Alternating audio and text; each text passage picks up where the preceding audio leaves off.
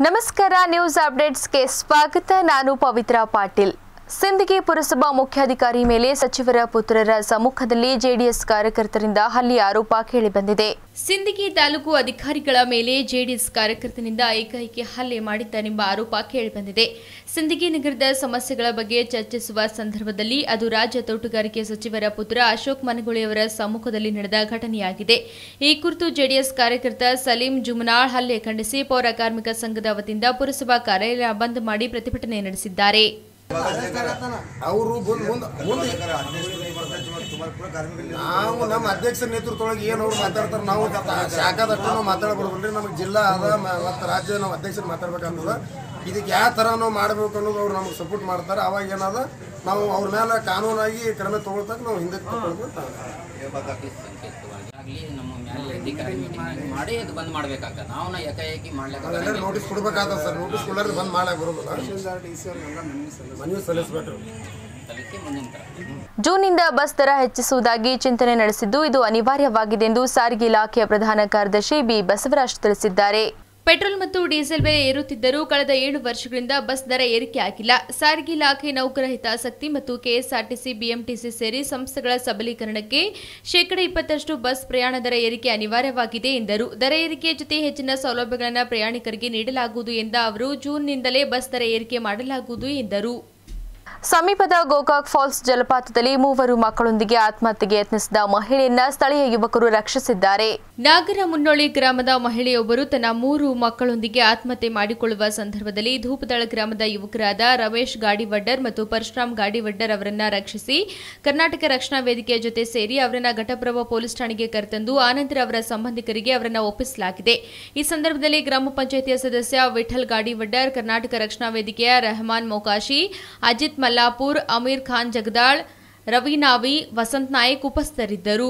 ಕಾಂಗ್ರೆಸ್ ಲಿಂಗಾಯತರನ್ನ ಕಡೆಗಣಿಸಿದ್ದು ನಗ್ನ ಸತ್ಯ ಬಿಸಿ ಪಾಟೀಲ್. ಕಾಂಗ್ರೆಸ್ನಲ್ಲಿ ಸಾವಿರದ ಒಂಬೈನೂರ ಅರವತ್ತೆಂಟು ಅರವತ್ತೊಂಬತ್ತರಿಂದ ಲಿಂಗಾಯತರನ್ನ ಕಡೆಗಣಿಸಲಾಗ್ತಿದೆ. ಹೀಗಾಗಿ ಉತ್ತರ ಕರ್ನಾಟಕ ಮತ್ತು ಹೈದರಾಬಾದ್ ಕರ್ನಾಟಕದಲ್ಲಿ ಒಂದು ಸ್ಥಾನವನ್ನ ಕಾಂಗ್ರೆಸ್ ಗೆದ್ದಿಲ್ಲ ಅಂತ ಹಿರೇಕೆರೂರು ಕಾಂಗ್ರೆಸ್ ಬಿಸಿ ಪಾಟೀಲ್ ಹೊಸ ಬಾಂಬ್ ಸಿಡಿಸಿದ್ದಾರೆ. ನಗರದಲ್ಲಿ ಮಾತನಾಡಿದ ಅವರು ಕಾಂಗ್ರೆಸ್ನಲ್ಲಿ ಸ್ಟೇಜ್ ಲೀಡರ್ಸ್ ಹೆಚ್ಚಾಗಿದ್ದಾರೆ ಪಕ್ಷಕ್ಕಾಗಿ ಕೆಲಸ ಮಾಡುವರನ್ನ ಗುರುತಿಸುತ್ತಿಲ್ಲ. ಕಾರ್ಯಕರ್ತರನ್ನ ಹಿಡಿಯುವುದರಲ್ಲಿ ಪಕ್ಷ ವಿಫಲವಾಗಿದೆ. ಪಕ್ಷ ಉಳಿಯಬೇಕಾದರೆ ನೈತಿಕ ಹೊಣೆ ಹೊರಬೇಕಾಗುತ್ತದೆ. ಅಲ್ಲದೆ ಕಾಂಗ್ರೆಸ್ ಲಿಂಗಾಯತರನ್ನ ಕಡೆಗಣಿಸಿದ್ದು ನಗ್ನ ಸತ್ಯ. ಈ ಹಿಂದೆಯೂ H K Patil, SR Bommai, Veerendra Patil, Nijalingappa ಅವರಿಗೆ ಅಧಿಕಾರ ತಪ್ಪಿಸಲಾಗಿತ್ತು ಅಂತ ಹೇಳಿದರು. ಇದೇ ವೇಳೆ ನನಗೆ ಸಮಾಧಾನ ಆಗಿಲ್ಲ. ಹೀಗಿರುವಾಗ ಅಸಮಾಧಾನ ಅನ್ನುವ ಪ್ರಶ್ನೆ ಹೇಗೆ? ಜಿಲ್ಲೆಯಲ್ಲಿ ಏಕೈಕ ಶಾಸಕನಾಗಿ ನಾನು ಆಯ್ಕೆಯಾಗಿದ್ದೆ. ಆದರೂ ಕೂಡ ಪಕ್ಷದಲ್ಲಿ ನನಗೆ ಸಚಿವ ಸ್ಥಾನ ನೀಡಲಿಲ್ಲ. ಈ ಬಗ್ಗೆ ನನಗೆ ಅಸಮಾಧಾನ ಇದೆ ಅಂತ ಹೇಳಿದರು. ರಕ್ತಚಂದನ ಕಳ್ಳ ಸಾಗಾಣಿಕೆ ಆರೋಪಿಗಳ ವಿರುದ್ಧ ಕೋಕಾ ಕಾಯ್ದೆ ಕೇಸ್ ದಾಖಲು. ಅಂತಾರಾಷ್ಟ್ರೀಯ ರಕ್ತಚಂದನ ಕಳ್ಳ ಸಾಗಾಣಿಕೆ ಆರೋಪಿಗಳ ವಿರುದ್ಧ ಕೋಕಾ ಕಾಯ್ದೆ ಹಾಕಲು ಸಿಸಿಬಿ ತಯಾರಿ ನಡೆಸುತ್ತಿದೆ.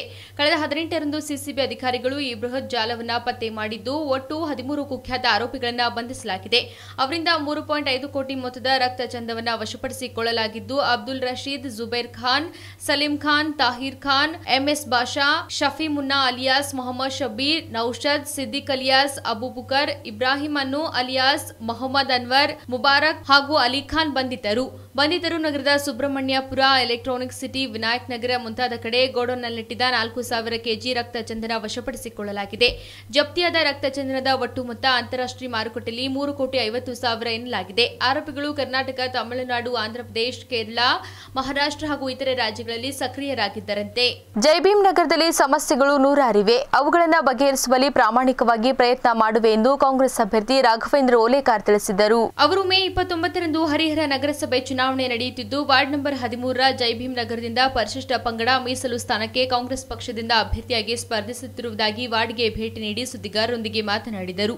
ನಗರದ ಹೊರವಲಯದ ಬಡಾವಣೆ ಇದಾಗಿದ್ದು, ಇದುವರೆಗೆ ಯಾವುದೇ ಸರಿಯಾದ ಅಭಿವೃದ್ಧಿ ಇಲ್ಲದೆ ಸೊರಗಿದೆ. ನಮ್ಮ ನೆಚ್ಚಿನ ಶಾಸಕ ಎಸ್. ರಾಮಪ್ಪ ಅವರ ಅಣತಿಯಂತೆ ಕಳೆದ ಐದು ತಿಂಗಳಿನಿಂದ ವಾರ್ಡಿನ ಸಮಸ್ಯೆ ಹಾಗೂ ಅಭಿವೃದ್ಧಿಯ ಬಗ್ಗೆ ಅಧ್ಯಯನ ನಡೆಸುತ್ತಿದ್ದು, ಮುಖ್ಯವಾಗಿ ಇಲ್ಲಿನ ಮಹಿಳೆಯರಿಗೆ ಅವಶ್ಯಕತೆ ಇದ್ದ ಶೌಚಾಲಯದ ಸಮಸ್ಯೆನ ಬಗೆಹರಿಸುವ ನಿಟ್ಟಿನಲ್ಲಿ ಶಾಸಕರು ಸಹಕಾರದೊಂದಿಗೆ ಎಂಟು ಸಾರ್ವಜನಿಕ ಶೌಚಾಲಯಗಳನ್ನು ನಿರ್ಮಾಣ ಮಾಡಲಾಗಿದೆ. ಈ ವಾರ್ಡಿನಲ್ಲಿ ಚರಂಡಿಗಳ ಸ್ವಚ್ಛತೆ ಬಗ್ಗೆ ತುಂಬಾ ನಿರ್ಲಕ್ಷ್ಯವಿದ್ದು, ಅವುಗಳ ಸ್ವಚ್ಛತೆಗೆ ಆದ್ಯತೆ ನೀಡಿ ಅವುಗಳನ್ನು ಸ್ವಚ್ಛಗೊಳಿಸಿ ನಿರಂತರವಾಗಿ ನೀರು ಹರಿಯುವಂತೆ ವ್ಯವಸ್ಥೆ ಮಾಡಬೇಕಾಗಿದೆ. ಆ ನಿಟ್ಟಿನಲ್ಲಿಯೂ ಸಹ ಗಮನ ಹರಿಸುತ್ತೇವೆ. ಜೈಭೀಮ್ ನಗರದ ಮಧ್ಯಮ ಭಾಗದಲ್ಲಿ ಪಾರ್ಕ್ ಇದ್ದು, ಅದು ಈಗ ಹಾಳು ಬಿದ್ದವರ ಸ್ಥಿತಿಗೆ ಬಂದಿದೆ. ಮುಂದಿನ ದಿನಗಳಲ್ಲಿ ಅದನ್ನು ಅಭಿವೃದ್ಧಿಪಡಿಸಿ ಇಲ್ಲಿನ ನಿವಾಸಿಗಳಿಗೆ ಸಂಜೆ ವಿಶ್ರಾಂತಿ ತಾಣವಾಗಿ ಪರಿವರ್ತನೆ ಮಾಡಲಾಗುವುದು. ಇಲ್ಲಿ ಸಮಸ್ಯೆ ತೀವ್ರವಾಗಿದ್ದು, ಈಗಾಗಲೇ ಕೆಲವು ಪತ್ರಿಕೆಗಳಲ್ಲಿ ವರದಿ ಕೂಡ ಆಗಿರುತ್ತದೆ. ಈ ಸಮಸ್ಯೆಯನ್ನು ಬಗೆಹರಿಸಲು ವಾರ್ಡಿನ ಹೊರಗಡೆ ಬೋರಿನ ಹೊಸ ಪಾಯಿಂಟ್ ನೋಡಿ, ಬೋರ್ ಅಲ್ಲಿಂದ ಪೈಪ್ಲೈನ್ಗಳಿಗೆ ಅಳವಡಿಸಿ ನೀರು ಸರಬರಾಜಿನ ವ್ಯವಸ್ಥೆ ಕಲ್ಪಿಸುವಲ್ಲಿ ಪ್ರಯತ್ನ ಮಾಡಲಾಗುವುದು. ಅಲ್ಲದೆ ಈ ಭಾಗದಲ್ಲಿ ಅರ್ಧಕ್ಕೆ ಓದು ನಿಲ್ಲಿಸಿರುವ ಯುವತಿಯರು ಹಾಗೂ ವಿವಾಹಿತ ಮಹಿಳೆಯರಿಗೆ ಸರ್ಕಾರದ ಅನೇಕ ಯೋಜನೆಗಳಿಂದ ಮನೆಯಲ್ಲೇ ಕುಳಿತು ಹಣ ಗಳಿಸುವಂತಹ ಯೋಜನೆಗಳನ್ನು ಜಾರಿಗೆ ತರಲು ಪ್ರಾಮಾಣಿಕ ಪ್ರಯತ್ನಿಸುವುದಾಗಿ ತಿಳಿಸಿದ್ದರು. ನಾನು ಪರಿಚಯ ಮಾಡ್ಕೊಳಕ್ಕೆ ಇಷ್ಟಪಡ್ತೀನಿ. ನನ್ನ ಹೆಸರು ರಾಘವೇಂದ್ರ ಓಲೇಕರ್ ಅಂತೇಳಿ. ಕೆ ಆರ್ ನಗರದ ನಿವಾಸಿಯಾಗಿದ್ದೀನಿ ನಾನು.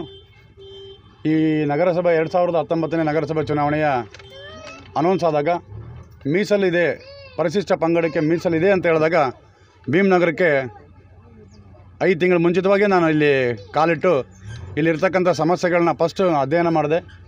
ಅವನು ನೋಡಿದಾಗ ಭಾಳ ತುಂಬ ಜ್ವಲಂತ ಒಂದು ಸಮಸ್ಯೆಗಳನ್ನ ನಾನು ಇಲ್ಲಿ ಬಂದು ಕಂಡೆ. ಎಸ್ಪೆಷಲಿ ನನ್ನ ತಾಯಂದರು, ನಮ್ಮ ಅಕ್ಕಂದರಿಗೆ ಅತ್ಯಂತ ಈ ಶೋಚನೀಯ ಸ್ಥಿತಿಯಲ್ಲಿರ್ತಕ್ಕಂಥ ವ್ಯವಸ್ಥೆಯನ್ನು ನಾನು ನೋಡಿದೆ.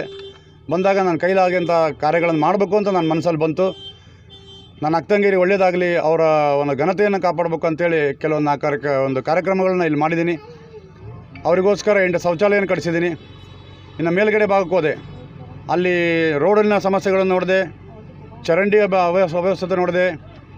ಇನ್ನು ಆಮೇಲೆ ಕೆಲವೊಂದು ಮನೆಗಳಿಗೆ, ಜನರಿಗೆ ಮನೆಯೇ ಇಲ್ಲ, ಜಾಗನೂ ಇಲ್ಲ. ಸರ್ಕಾರದ ಸವಲತ್ತನ್ನು ತಂದು ಕೊಡ್ತಕ್ಕಂಥ ಒಬ್ಬ ಎಮಿನೆಂಟ್ ಆಗಿರ್ತಕ್ಕಂಥ ವ್ಯಕ್ತಿ ಇಲ್ಲಿ ಯಾರೂ ಕೂಡ ಬರಲಿಲ್ಲ.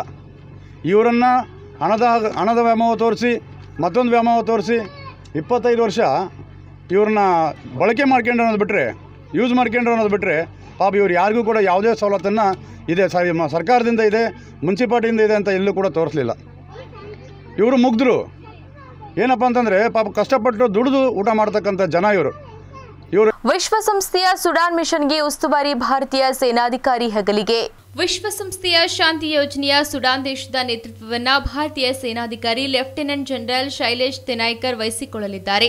ಶೈಲೇಶ್ ರನ್ನ ಯುಎನ್ಎ ಮಿಷನ್ ಸುಡಾನ್ನ ಫೋರ್ಸ್ ಕಮಾಂಡರ್ ಆಗಿ ವಿಶ್ವಸಂಸ್ಥೆ ಪ್ರಧಾನ ಕಾರ್ಯದರ್ಶಿ ಇಂಟನಿಯೋ ಗುಟ್ರೇಸ್ ನೇಮಕ ಮಾಡಿದ್ದಾರೆ. ಐವತ್ತೇಳು ವರ್ಷದ ಲೆಫ್ಟಿನೆಂಟ್ ಜನರಲ್ ಶೈಲೇಶ್ ತೆನಾಯ್ಕರ್, ರುವಾಂಡದ ಜನರಲ್ ಫ್ರಾಂಕ್ ಕೊಮಾಮ್ಜಿ ಅವರಿಂದ ತೆರವಾಗುವ ಸ್ಥಾನವನ್ನು ತುಂಬಲಿದ್ದಾರೆ. ಜನರಲ್ ಫ್ರಾಂಕ್ ಕೊಮಾಮ್ಜಿ ಇಂದು ನಿವೃತ್ತರಾಗುತ್ತಿದ್ದಾರೆ. ಭಾರತೀಯ ಸೇನೆಯಲ್ಲಿ ಮೂವತ್ನಾಲ್ಕು ವರ್ಷಗಳ ಸೇವೆ ಸಲ್ಲಿಸಿರುವ ಲೆಫ್ಟಿನೆಂಟ್ ಜನರಲ್ ಶೈಲೇಶ್ ತಿನಾಯ್ಕರ್ ಸದ್ಯ ಇನ್ಫ್ಯಾಂಟ್ರಿ ಸ್ಕೂಲ್ನ ಕಮಾಂಡೆಂಟ್ ಆಗಿ ಕಾರ್ಯನಿರ್ವಹಿಸಿದ್ದಾರೆ. ತಿನಾಯ್ಕರ್ ಅವರಿಗೆ ಸೇವಾ ಮೆಡಲ್ ಮತ್ತು ವಿಶಿಷ್ಟ ಸೇವಾ ಮೆಡಲ್ನಿಂದ ಗೌರವಿಸಲಾಗಿದೆ. ಅಲ್ಲದೆ ಸಾವಿರದ ಒಂಬೈನೂರ ತೊಂಬತ್ತಾರರಿಂದ ತೊಂಬತ್ತೇಳರವರೆಗೆ ವಿಶ್ವಸಂಸ್ಥೆಯ ಇಂಗೋಲಾ ವೆರಿಫಿಕೇಷನ್ ಮೂರು ಮಿಷನ್ ಮತ್ತು ಎರಡ್ ಸಾವಿರದ ಎಂಟರಿಂದ ಒಂಬತ್ತರವರೆಗೆ ಯುಎನ್ ಮಿಷನ್ ಇನ್ ಸುಡಾನ್ನಲ್ಲಿ ಸೇವೆ ಸಲ್ಲಿಸಿದ ಅನುಭವವು ಶೈಲೇಶ್ ತಿನಾಯ್ಕರ್ ಅವರಿಗಿದೆ. ಕೊಲಂಬೋದಲ್ಲಿ ಭಾರತ ಜಪಾನ್ ಕಂಟೈನರ್ ಟರ್ಮಿನಲ್. ಕಳೆದ ಅವಧಿಯಲ್ಲಿ ನರೇಂದ್ರ ಮೋದಿ ನೇತೃತ್ವದ ಎನ್ಡಿಎ ಸರ್ಕಾರ ವಿದೇಶಗಳ ಜೊತೆಗಿನ ಸಂಬಂಧ ಉತ್ತಮಪಡಿಸಿಕೊಳ್ಳೋಕೆ ಸಾಕಷ್ಟು ನೀತಿಗಳನ್ನು ಅನುಸರಿಸಿತ್ತು. ಇದು ಇತರೆ ದೇಶಗಳ ಜೊತೆ ಉತ್ತಮ ಸಂಬಂಧ ಹೊಂದುವ ಜೊತೆಗೆ ನಮ್ಮ ಕಾಂಪಿಟೇಟರ್ ಆಗಿರುವ ಎದುರಾಳಿ ದೇಶಗಳಿಗೆ ನಮ್ಮ ಶಕ್ತಿ ಏನು ಅನ್ನೋದನ್ನ ತೋರಿಸುವ ಉದ್ದೇಶ. ಇದೀಗ ಮತ್ತೊಮ್ಮೆ ಕೇಂದ್ರದಲ್ಲಿ ಮೋದಿ ನೇತೃತ್ವದ ಎನ್ಡಿಎ ಸರ್ಕಾರವೇ ರಚನೆ ಆಗಿದ್ದು, ವಿದೇಶಗಳ ಜೊತೆಗಿನ ಭಾರತದ ಸಂಬಂಧ ಮತ್ತಷ್ಟು ಬಲಗೊಳ್ಳಲಿದೆ ಅಂತ ಹೇಳಲಾಗ್ತಿದೆ. ಇದರ ಮೊದಲ ಹೆಜ್ಜೆಯಾಗಿ ಇದೀಗ ಭಾರತ ಜಪಾನ್ ಜೊತೆಗೂಡಿ ಶ್ರೀಲಂಕಾದಲ್ಲಿ ಕಂಟೈನರ್ ಟರ್ಮಿನಲ್ ನಿರ್ಮಾಣ ಮಾಡುವ ಬಗ್ಗೆ ಚಿಂತನೆ ನಡೆಸಿದೆ. ಭಾರತಕ್ಕೆ ಕಟ್ಟ ಎದುರಾಳಿಯಾಗಿರುವ ಚೀನಾ ಈಗಾಗಲೇ ಕೊಲಂಬೋ ಬಂದರ್ನಲ್ಲಿ ತನ್ನ ಟರ್ಮಿನಲ್ ನಿರ್ಮಿಸಿದೆ. ಇದರ ಪಕ್ಕದಲ್ಲೇ ಹೊಸ ಟರ್ಮಿನಲ್ ನಿರ್ಮಾಣಕ್ಕೆ ಶ್ರೀಲಂಕಾ ಮುಂದಾಗಿದೆ. ಇದಕ್ಕೆ ನೆರವು ನೀಡುವಂತೆ ಭಾರತ ಹಾಗೂ ಜಪಾನ್ ದೇಶಗಳಿಗೆ ಮನವಿ ಮಾಡಿದ್ದು, ಈ ಬಗ್ಗೆ ಉನ್ನತ ಮಟ್ಟದ ಮಾತುಕತೆಗಳು ಕೂಡ ಮುಂದುವರೆದಿವೆ ಅಂತ ಶ್ರೀಲಂಕಾದ ಹಿರಿಯ ಅಧಿಕಾರಿಯೊಬ್ಬರು ಮಾಹಿತಿ ನೀಡಿದ್ದಾರೆ.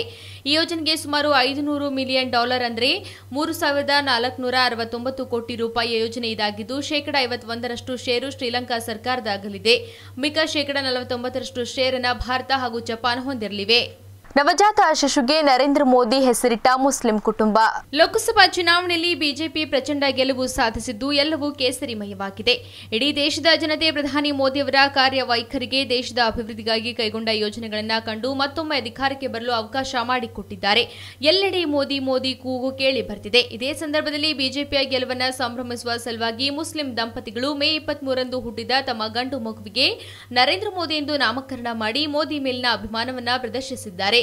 ಉತ್ತರ ಪ್ರದೇಶದ ಗೊಂಡಾ ಜಿಲ್ಲೆಯ ಮುಸ್ಲಿಂ ಪರಿವಾರ ತಮ್ಮ ಮಗುವಿಗೆ ಮೋದಿ ಎಂದು ಹೆಸರಿಟ್ಟಿದ್ದಾರೆ. ಆನ್ಲೈನ್ನಲ್ಲಿ ಆಹಾರವನ್ನ ಆರ್ಡರ್ ಮಾಡಲು ಗೂಗಲ್ ಒಂದು ಹೊಸ ತಂತ್ರಜ್ಞಾನವನ್ನ ಕಂಡುಹಿಡಿದಿದೆ. ಗೂಗಲ್ ತನ್ನ ಹುಡುಕಾಟ ಎಂಜಿನ್ಗೆ ಈ ವಾರದ ಮೊದಲಿನ ಬದಲಾವಣೆಯನ್ನ ಪ್ರಕಟಿಸಿದೆ. ಬದಲಾವಣೆಗಳೆಂದರೆ ಒಂದು ಮನೆ ವಿತರಣೆಗಾಗಿ ಆಹಾರ ಆದೇಶಗಳನ್ನು ಇರಿಸಲು ಬಳಕೆದಾರರಿಗೆ ಸುಲಭವಾಗುತ್ತದೆ. ಅಧಿಕೃತ ಬ್ಯಾಗ್ನಲ್ಲಿ ವಿವರಿಸುವಂತೆ ನೀವು ಈಗ ಡೊನಾಲ್ಡ್ ಫೋಟೇಸ್ ಡೆಲಿವರಿ ಕಾಮ್, ಸೈಜ್, ಜವಾನ್ ಇನ್ನಿತರ ಸೇವೆಗಳಿಂದ ಆಹಾರವನ್ನು ಆದೇಶಿಸಲು ಗೂಗಲ್ ಹುಡುಕಾಟ ನಡೆಸುತ್ತೇವೆ.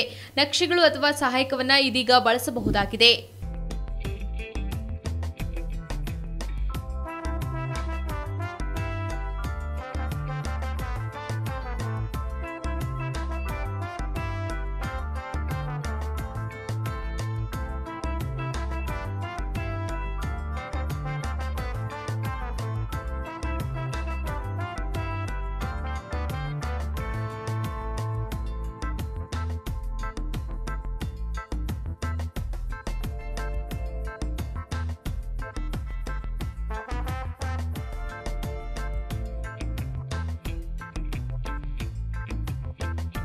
ಚಂದ್ರಾಣಿ ಮುರ್ಮು ದೇಶದ ಅತಿ ಕಿರಿಯ ಎಂಪಿ ಒಡಿಶಾದಲ್ಲಿ ಶೇಕಡಾ ಮೂವತ್ಮೂರಷ್ಟು ಮಹಿಳಾ ಸಂಸದರು. ಸಂಸತ್ನಲ್ಲಿ ಶೇಕಡಾ ಮೂವತ್ಮೂರರಷ್ಟು ಮಹಿಳೆಯರಿಗೆ ಮೀಸಲಾತಿ ನೀಡಬೇಕು ಎಂಬ ಹಲವಾರು ವರ್ಷಗಳಿಂದ ಕೇಳಿ ಬರುತ್ತಿರುವ ಕೂಗು, ಆದರೆ ಒಡಿಶಾದಲ್ಲಿ ಕಾಕತಾಳೀಯ ಎಂಬಂತೆ ಒಟ್ಟು ಸ್ಥಾನಗಳ ಪೈಕಿ ಶೇಕಡಾ ಮೂವತ್ಮೂರರಷ್ಟು ಮಹಿಳೆಯರು ಸಂಸತ್ಗೆ ಪ್ರವೇಶಿಸುತ್ತಿದ್ದಾರೆ. ಲೋಕಸಭೆಯಲ್ಲಿ ಶೇಕಡ ಮೂವತ್ಮೂರರಷ್ಟು ಮಹಿಳೆಯರಿಗೆ ಮೀಸಲಾತಿ ನೀಡಬೇಕೆಂಬ ಬಿಲ್ ಮಂಡನೆಯಾಗಿ ಅಂಗೀಕಾರವಾಗಿದೆ. ಆದರೆ ರಾಜ್ಯದಲ್ಲಿಯೂ ಅದು ಇನ್ನೂ ಹಾಗೆ ಇದೆ. ಆದರೆ ಒಡಿಶಾ ರಾಜ್ಯದಲ್ಲಿರುವ ಒಟ್ಟು ಸಂಸದರ ಪೈಕಿ ಶೇಕಡಾ ಮೂವತ್ಮೂರರಷ್ಟು ಮಹಿಳೆಯರಿದ್ದಾರೆ. ಈ ಮೂಲಕ ಶೇಕಡಾ ಮೂವತ್ಮೂರರಷ್ಟು ಮಹಿಳಾ ಸಂಸದರನ್ನ ಹೊಂದಿರುವ ದೇಶದ ಮೊದಲ ರಾಜ್ಯ ಎಂಬ ಹೆಗ್ಗಳಿಕೆ ಒಡಿಶಾಗೆ ಸಿಕ್ಕಿದೆ. ಅಲ್ಲದೆ, ಕೊಯಿಂಜಾರ್ ಲೋಕಸಭಾ ಕ್ಷೇತ್ರದ ಬಿಜು ಜನತಾದಳ ಪಕ್ಷದಿಂದ ಸ್ಪರ್ಧಿಸಿ ಗೆಲುವು ಸಾಧಿಸಿರುವ ಇಪ್ಪತ್ತೈದು ವರ್ಷದ ಚಂದ್ರಾಣಿ ಮುರ್ಮು ದೇಶದ ಅತಿ ಕಿರಿಯ ಲೋಕಸಭಾ ಸದಸ್ಯ ಎಂಬ ಖ್ಯಾತಿ ಪಡೆದಿದ್ದಾರೆ. ಬುಡಕಟ್ಟು ಜನಾಂಗಕ್ಕೆ ಸೇರಿದ ಚಂದ್ರಾಣಿ ಬಿಟೆಕ್ ಪದವಿ ಮುಗಿಸಿ ಕೆಲಸಕ್ಕಾಗಿ ಹುಡುಕಾಟ ನಡೆಸುತ್ತಿದ್ದರು. ಆದರೆ ಅಚಾನಕ್ ಆಗಿ ಬಿಜೆಡಿ ಪಕ್ಷದಿಂದ ಚುನಾವಣೆಗೆ ಸ್ಪರ್ಧೆ ಮಾಡುವ ಅವಕಾಶ ದೊರಕಿದೆ. ಕೊಯಿಂಜಾರ್ ಲೋಕಸಭಾ ಕ್ಷೇತ್ರದಲ್ಲಿ ಸ್ಪರ್ಧಿಸಿ ಬಿಜೆಪಿ ಪಕ್ಷದ ಅಭ್ಯರ್ಥಿನ ಅರವತ್ತೇಳು ಸಾವಿರ ಮತಗಳ ಅಂತರದಿಂದ ಸೋಲಿಸುವ ಮೂಲಕ ಸಂಸತ್ಗೆ ಆಯ್ಕೆಯಾದ ಅತಿ ಕಿರಿಯ ಸದಸ್ಯ ಎಂಬ ಬರೆದಿದ್ದಾರೆ. ಚಂದ್ರಾಣಿ ಮುರ್ಮು ಅವರ ತಾತ ಹರಿಹರ್ ಸೋರೆನ್ ಕಾಂಗ್ರೆಸ್ ಪಕ್ಷದಿಂದ ಸಾವಿರದ ಒಂಬೈನೂರ ಎಂಬತ್ತು ಮತ್ತು ಎಂಬತ್ತು ಒಂಬತ್ತರಲ್ಲಿ ಸಂಸತ್ಗೆ ಆಯ್ಕೆಯಾಗಿದ್ದರು. ಒಡಿಶಾದಲ್ಲಿ ಒಟ್ಟು ಇಪ್ಪತ್ತೊಂದು ಲೋಕಸಭಾ ಕ್ಷೇತ್ರಗಳಿದ್ದು ಅದರಲ್ಲಿ ಏಳು ಕ್ಷೇತ್ರಗಳಲ್ಲಿ ಮಹಿಳೆಯರ ಗೆಲುವು ಸಾಧಿಸುವ ಮೂಲಕ ದಾಖಲೆ ಬರೆದಿದ್ದಾರೆ. ಹತ್ಯೆಯಾದ ಸುರೇಂದ್ರ ಸಿಂಗ್ ನಿವಾಸಕ್ಕೆ ತೆರಳಿದ ಬಿಜೆಪಿಯ ಸಂಸದೆ ಸ್ಮೃತಿ ಇರಾನಿ. ಅಮೇಥಿಯಲ್ಲಿ ಬರ್ಬರವಾಗಿ ಕೊಲೆಯಾದ ಬಿಜೆಪಿ ಕಾರ್ಯಕರ್ತ ಸುರೇಂದ್ರ ಸಿಂಗ್ ಕುಟುಂಬವನ್ನ ಭೇಟಿ ಮಾಡಲು ಬಿಜೆಪಿಯ ಸಂಸದೆ ಸ್ಮೃತಿ ಇರಾನಿ ದೆಹಲಿಯಿಂದ ತೆರಳಿದ್ದಾರೆ. ಅಮೇಥಿ ಜಿಲ್ಲೆಯ ಬರೋಲಿಯಾ ಗ್ರಾಮದ ಮುಖಂಡ ಐವತ್ತು ವರ್ಷದ ಸುರೇಂದ್ರ ಸಿಂಗ್ ಎಂಬುವರನ್ನ ಶನಿವಾರ ತಡರಾತ್ರಿ ಮೂರು ಗಂಟೆಯಲ್ಲಿ ಬರ್ಬರವಾಗಿ ಹತ್ಯೆಗೈದಿದ್ದರು. ಸ್ಮೃತಿ ಇರಾನಿ ಅವರ ಗೆಲುವಿನ ಸಂಭ್ರಮಾಚರಣೆಗೆ ತೆರಳಿ ಮನೆಗೆ ವಾಪಸ್ಸಾಗಿ ಹೊರಗೆ ಮಲಗಿದ್ದ ವೇಳೆ ಬೈಕ್ನಲ್ಲಿ ಬಂದ ದುಷ್ಕರ್ಮಿಗಳು ಗುಂಡು ಹರಿಸಿ ಪರಾರಿಯಾಗಿದ್ದರು.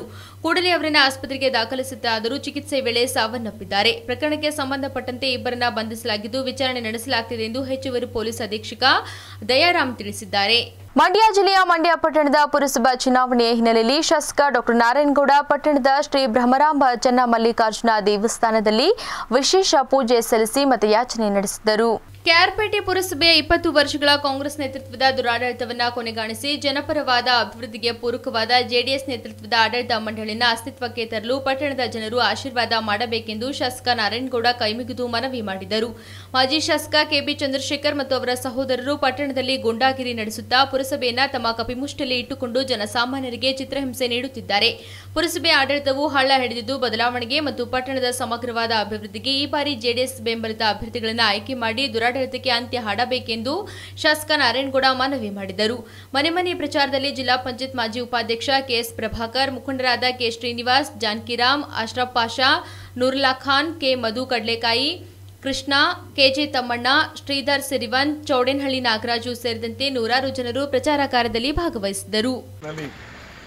ಬರುವ ಇಪ್ಪತ್ತೊಂಬತ್ತನೇ ತಾರೀಕಿಗೆ ಚುನಾವಣೆ ಇದೆ.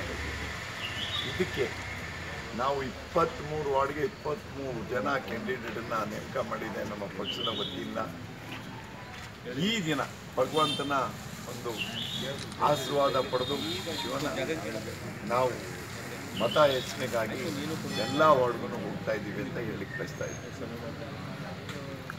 ವಾತಾವರಣ ಹೆಂಗಿದೆ ಸರ್? ಪುರಸಭೆ ಕೆ ಆರ್ ಪೇಟೆ ಪುರಸಭೆ ಜೆ ಡಿ ಎಸ್ ವಾತಾವರಣನ ಈ ನಮ್ಮ ಹೊಸಳ್ಳು ಮತ್ತು ಟೌನಿನ ಜನ ಚೇಂಜ್ ಮಾಡಲೇಬೇಕಾಗ್ತದೆ. ಈಗಲೇ ನೀವು ಕೇಳಿದ್ರಲ್ಲ ಗುಂಡಾಗರ್ದಿ. ಕಳೆದ ಮೂವತ್ತು ವರ್ಷದಿಂದ ಸರ್ಕಾರಿ ಆಸ್ತಿಗಳ ಲೂಟಿ. ಮತ್ತೆ ಸರ್ಕಾರಿ ಆಸ್ತಿಗಳ ಲೂಟಿ ಮಾಡೋದಾಗಲಿ ಮತ್ತೆ ಒಬ್ಬರಿಗೆ ಕಂದಾಯ ಸಾರಿ ಖಾತೆ ಕಂದಾಯಕ್ಕೆ ಹೋದ್ರೂ ಸಹ ಅಲ್ಲಿ ಉಸುಲಿ ಸುಲ್ಗೆ. ಈ ಸತ್ತಿನ ಕೆಲಸ ಮಾಡಬೇಕಾದ್ರೂ ಸುಲ್ಗೆ ನಡೀತಾ ಇದೆ. ನಮ್ಮ ಭ್ರಷ್ಟಾಚಾರ ಸಿಕ್ಕಾಪಟ್ಟೆ ಇದೆ ಅದಕ್ಕೋಸ್ಕರ ಈ ಬಾಡಿನ ಚೇಂಜ್ ಮಾಡಬೇಕು ಅಂತೇಳಿ ನಾವು ಭಗವಂತನ ಪ್ರಾರ್ಥನೆಯನ್ನು ಮಾಡಿ ಈ ಸಾರಿ ಖಂಡಿತ ಈ ಬಾಡಿನ ನಾವು ಚೇಂಜ್ ಮಾಡೇ ಮಾಡ್ತೀವಿ ಅಂತ ಹೇಳಿಕ್ ಬಯಸ್ತಾ ಇದ್ದೀವಿ ನಾರಾಯಣ ಗೌಡ್ರಿಗೆ! ಜೆಡಿಎಸ್ ಪಕ್ಷಕ್ಕೆ! ನಾರಾಯಣ್ ಗೌಡ್ರಿಗೆ! ಕುಮಾರಣ್ಣಂಗೆ! ದೇವೇಗೌಡರಿಗೆ! ಕೊಡೋದ ಬನ್ನಿ ವಿಷ್ಣು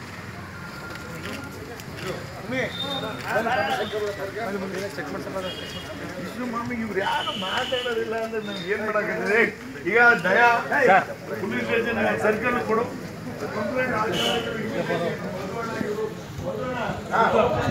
ಮಂಡ್ಯ ಜಿಲ್ಲೆಯ ಕೆಆರ್ಪೇಟೆ ಪಟ್ಟಣದ ಪುರಸಭೆಯ ಚುನಾವಣೆಯಲ್ಲಿ ಹದಿನೇಳನೇ ವಾರ್ಡಿನಿಂದ ಸ್ಪರ್ಧಿಸಿರುವ ರೈತ ಸಂಘದ ಅಭ್ಯರ್ಥಿ ಶಿವಣ್ಣ ಅವರ ಪರವಾಗಿ ರೈತ ಮುಖಂಡರು ಬಿರುಸಿನ ಪ್ರಚಾರ ನಡೆಸಿ ಮತಯಾಚನೆ ನಡೆಸಿದ್ದರು.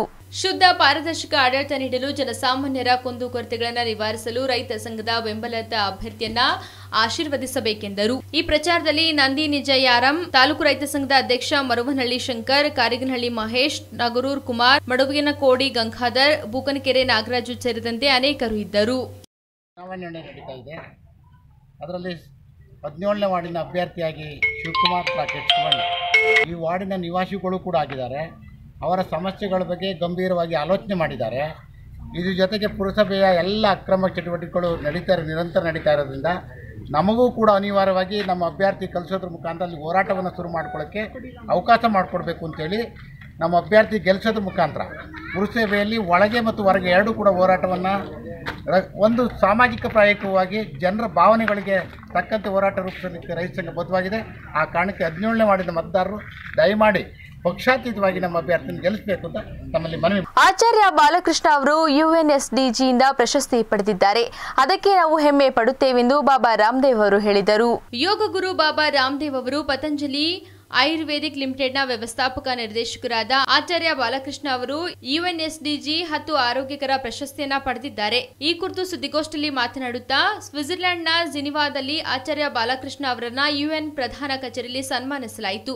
ಮೊದಲ ಬಾರಿಗೆ ಯುಎನ್ಎಸ್ಡಿಜಿ ವಿಶ್ವದಾದ್ಯಂತ ಆರೋಗ್ಯ ವಲಯದಲ್ಲಿ ಪ್ರಖ್ಯಾತ ಜನರನ್ನ ಸನ್ಮಾನಿಸಿತು. ಈ ಜನರು ಜಾಗತಿಕವಾಗಿ ಆರೋಗ್ಯ ವಲಯದಲ್ಲಿ ಅಮೂಲ್ಯ ಕೊಡುಗೆಯನ್ನ ನೀಡಿದ್ದಾರೆ. ಆಚಾರ್ಯ ಬಾಲಕೃಷ್ಣ ಅವರನ್ನ ಭಾರತಕ್ಕೆ ಪ್ರತಿನಿಧಿಸಲು ಆಹ್ವಾನಿಸಲಾಯಿತು ಎಂದರು. ಹೆಲ್ತ್ ಕೇರ್ ಸೆಕ್ಟರ್ ಮೇ वर्ल्ड के रिनाउंड लोगों को पहली बार सम्मानित किया है और जिनका सर्वश्रेष्ठ योगदान रहा है वैश्विक स्तर पर स्वास्थ्य के क्षेत्र में। Most influential people in health sector उसमें भारत की ओर से श्रद्धेय आचार्य श्री को बुलाया गया। Blood pressure sugar thyroid arthritis stress anxiety depression जैसे रोगों के लिए योग, आयुर्वेद और भारत की परंपरागत चिकित्सा एक वरदान से कम नहीं है। और इसके क्षेत्र में पतंजलि ने वैश्विक स्तर पर एक श्रेष्ठ अवदान दिया है और पतंजलि के इसी योगदान को ध्यान में रख करके श्रद्धेय आचार्य श्री को United Nations sustainable development goal की ओर से यह जो सम्मान दिया गया है उसके लिए हम ನೇಪಾಳದಲ್ಲಿ ಬಿರ್ಗುಂಚ್ನಲ್ಲಿ ಬಿಜೆಪಿ ನೇತೃತ್ವದ ಎನ್ಡಿಎ ಸರ್ಕಾರ ಬಂದಿದ್ದಕ್ಕೆ ವಿಜಯೋತ್ಸವ ಆಚರಿಸಿದರು ನರೇಂದ್ರ ಮೋದಿ ನೇತೃತ್ವದ ಬಿಜೆಪಿ ಮತ್ತು ಎರಡ್ ಸಾವಿರದ ಹತ್ತೊಂಬತ್ತರ ಲೋಕಸಭಾ ಚುನಾವಣೆಯಲ್ಲಿ ಅದರ ಮಿತ್ರ ಪಕ್ಷಗಳ ವಿಜಯವನ್ನು ಆಚರಿಸಲು ನೇಪಾಳದ ಬೆರ್ಗುಂಜ್ ಪಟ್ಟಣದಲ್ಲಿ ಒಂದು ರ್ಯಾಲಿಯನ್ನು ಆಯೋಜಿಸಲಾಗಿದೆ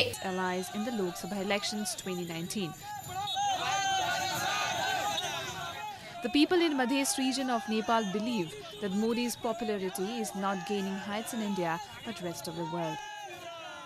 मोदी जी जवन, पूर्ण बहुमत से, तकरीबन 342 के हाराहारी में सीट ले आयल बानी उ एगो भारत के ही नेता ना उ एगो अंतर्राष्ट्रीय नेता हमनी के वहाँ के मानत नहीं सन वही से हमनी के वहाँ के विजय जुलूस के तौर पर हमनी के साथ बानी सन कह के अच्छा नेता बरन वही से हमनी नेपाल वासी साथ बानी The National Democratic Alliance has won the elections with a huge margin by registering 353 seats out of 542 Lok Sabha seats. ಪ್ರವಾಸೋದ್ಯಮ ಇಲಾಖೆಯು ಮನರಂಜನೆಗಾಗಿ ಮಹಿಳೆಯರಿಗೋಸ್ಕರ ಕಾರ್ಯಕ್ರಮವನ್ನು ಹಮ್ಮಿಕೊಂಡಿದ್ದರು ಪ್ರವಾಸೋದ್ಯಮ ನಿರ್ದೇಶನಾಲಯ ಜಮ್ಮುವಿನಲ್ಲಿ ಮಹಿಳೆಯರಲ್ಲಿ ಫಿಟ್ನೆಸ್ ಅನ್ನ ಉತ್ತೇಜಿಸಲು ಜಮ್ಮು ಮಹಿಳೆಯರನ್ನ ನಡೆಸಿತು ಒಪಿ ಭಗತ್ ನಿರ್ದೇಶನದ ಪ್ರವಾಸೋದ್ಯಮ ಜಮ್ಮು ಈ ಓಟವನ್ನು ಫ್ಲಾಗ್ ಮಾಡಿದೆ.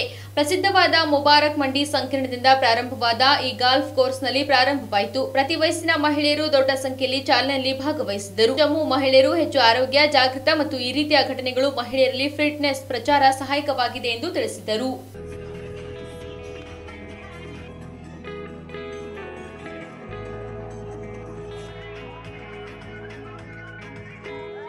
Is very good as it's first time happening in Jammu. So and moreover all the girls are very health conscious nowadays. So I must say it should happen again and again. So we are very happy and participating in it and I hope it goes very well. How important is uh, for a woman to be fit? It's very it's the priority nowadays. One should love their body. They should do you know anything like you can do yoga gymming anything but do something to keep yourself fit and healthy because if you are healthy then you can take care of your family right so it's very important